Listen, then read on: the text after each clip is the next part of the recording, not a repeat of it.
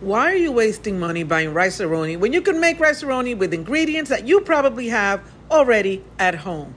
Let me show you how. You're going to need the ingredients that you see here.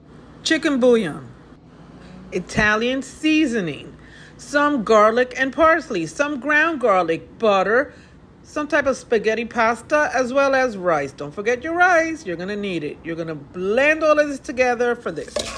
Heat up the butter and throw in the pasta. Make sure you stir it around for like a couple of minutes because now you're gonna throw in your rice and you're gonna blend everything together. Blend, blend, blend, yum, yum, yum.